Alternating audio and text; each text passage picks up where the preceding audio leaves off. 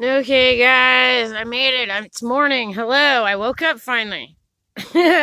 Having coffee with Mr. Frosty and sitting back and enjoying the the sun wherever it is right there. Ugh. Bright today, even though it's behind the clouds. All right. Oh, I don't know if you've seen my new one. It's a planter. Look.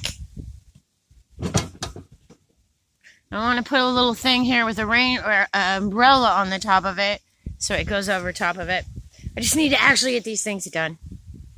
Got a lot of things I want to do.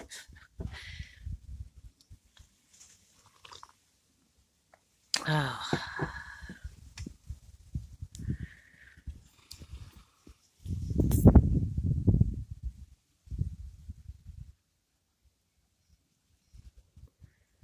Alright guys, just wanted to say good morning.